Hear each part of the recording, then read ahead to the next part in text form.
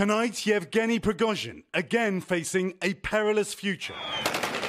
The mercenary who led a mutiny in Russia, so angering President Putin, was thought to be in exile in Belarus. But when NBC News was invited today to the presidential palace in the capital, Minsk, its autocratic leader distanced himself. His deal to bring Prigozhin to Belarus undone for now. And he may never come, President Lukashenko says. He is located in St. Petersburg. Where is he this morning? He could have gone to Moscow or maybe somewhere else. People will be surprised and mystified that a man who you say could have caused a civil war in Russia is still in Russia. I've said everything that I'm allowed to say. On the streets of Minsk, some telling us they never wanted Prigozhin or his soldiers here. Yeah, very bad. Prigozhin himself, heard but not seen, promising in a recent audio message new victories on the front line.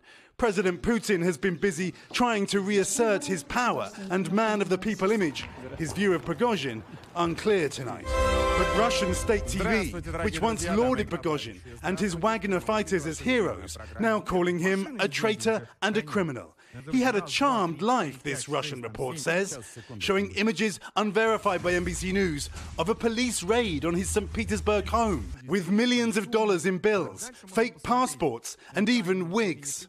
Prigozhin discredited, but not in danger, Lukashenko insisted today. If you think that Putin is so evil and vengeful that he'll whack him tomorrow somewhere, as we say in Russian, then no, this won't happen.